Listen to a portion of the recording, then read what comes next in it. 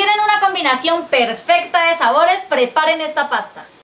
Arranquemos. Lo primero que vamos a hacer es poner a cocinar 250 gramos de pechuga. Vamos a agregarle media cebolla, dos hojitas de laurel, su poquito de sal y dos dientes de ajo. Y cubrimos todo con agua. Ahora sí cocinemos esta pechuga por 40 minutos. Cojan 7 salchichitas y píquenlas en rodajitas, ¿vale, cocineros? Montense una estufa en el sartén, échenle ahí su tricito de aceite y van ahora las salchichas. Doremos las salchichas. Lista la salchichita, vean cómo quedó rosadita y bonita. Pónganme poco cocineros porque aquí mismo y a fuego alto vamos a agregar una cebolla blanca picada en cuartos, dos tomates, si los pueden conseguir más maduros que los míos, mucho mejor y sin semillas, ¿listo? O sea, quiten esas semillas. Ay, yo sé que ustedes me entendieron. Tres dientes de ajo y una zanahoria. Y vamos a tatemar esto, cocineros. Cuando esta cuestión ya tenga esta pinta, apagamos y retiramos del fuego.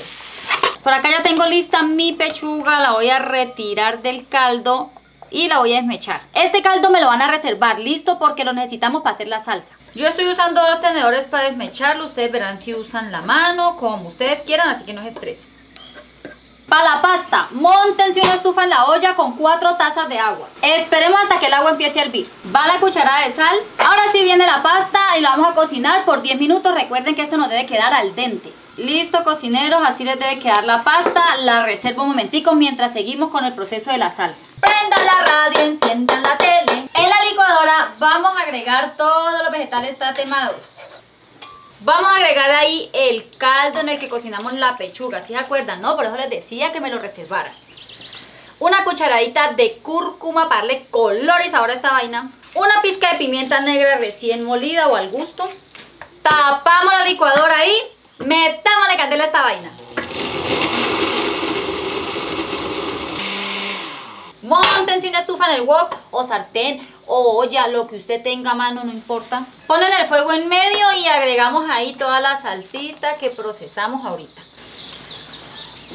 Voy a agregar también una cucharada de salsa de tomate. Rectificamos sal si ustedes creen que les hace falta, si no, no. Voy a agregar 5 hojas de albahaca para aromatizar esta vaina y unas ramitas de cilantro. Dejamos que esta salsa se reduzca por 15 minutos. En este punto, cocineros, que pasaron ya los 15 minutos de cocción, vamos a retirar las hojitas de albahaca y el cilantro que le agregamos a esto, ¿vale? Acá tengo 150 gramos de queso crema y van para la salsa y ya se podrán imaginar ustedes esta combinación tan espectacular que estamos haciendo aquí, ¿no?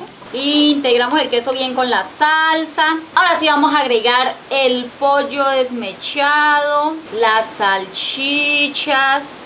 Vamos a revolver primero un poquitico esto. Y ahora sí vamos a agregar la pasta. La idea aquí es coger, integrar muy bien todos estos sabores que acabamos de agregar en este wok. Obviamente no nos puede faltar el toque de cilantro picadito. Vamos a emplatar bien bonito esto. Y si vieron cocineros que con amor, paciencia y pocos ingredientes se pueden preparar una mega pasta deliciosa. Y recuerda que en nuestra cocina preparamos arte.